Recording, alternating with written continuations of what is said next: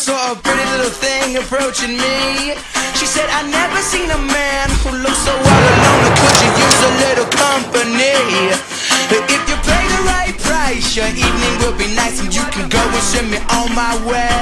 I said, you're such a sweet young thing, why you do this to yourself? She looked at me and this is what she said. Oh,